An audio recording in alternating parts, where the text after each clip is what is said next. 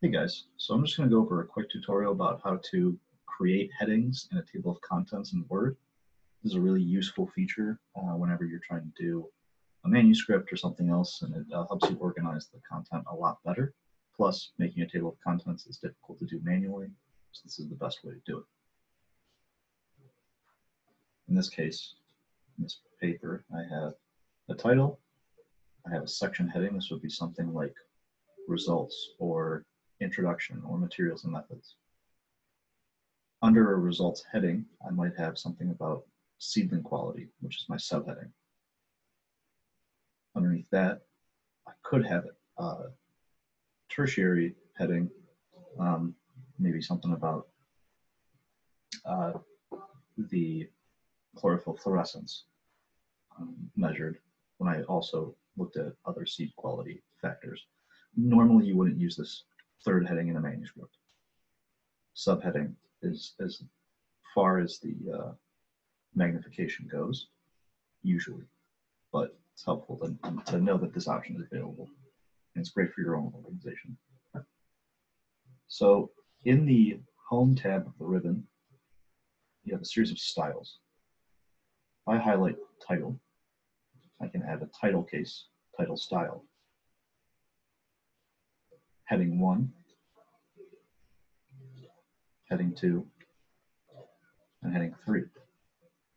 Now you'll notice that all of these different uh, sections are now in different fonts with different sizes and then also spacing and uh, some are bolded, some are not even black. So what we want to do is highlight the style that you want and you go to this drop down under the styles tab. I want to manage styles. Now I can click on any of the ones that I have here. I'm going to go to title, modify. So this is the title style. And maybe I want it to be in times, and I want it to be a 26 point font. Also, bolded. Now I can add this to the styles gallery where this is going to then appear up here all the time. And I can update it for just this document or for all new documents. I'm gonna go all new documents because I generally keep the same style. And say okay. And so it'll always change that title to that style. And the style is reflected up here again. So if I want to select it here, this header would go to the title style. Now another cool thing about these is that if I have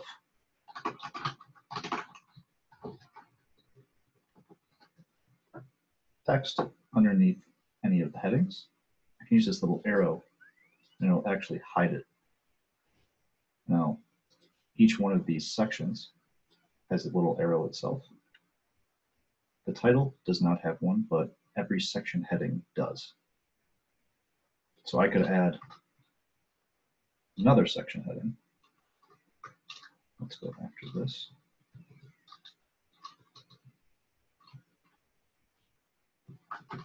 Heading two. Now highlight here. So I have my section heading and heading two are both heading one style. So that means they will organize into this pattern. But I can drop down my first heading to reveal all of the other sections that I have enclosed there. Now, if I want to insert a table of contents,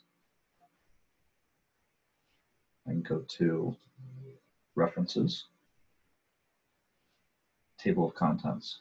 Now, this is an automatic table, so it'll show everything here. Also, it'll list the page numbers.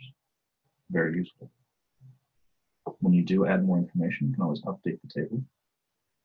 And you can always add text within the level of the table.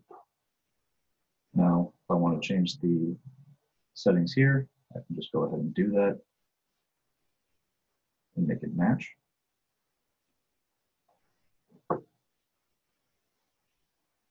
And that's uh, the easiest way to, to do this. Um, I would suggest looking around the references tab. You can do other things like insert a table of figures. This is good for a thesis. Or uh, endnotes, footnotes, uh, other things that you may run across um, uh, in the future. So that's all I have for you today.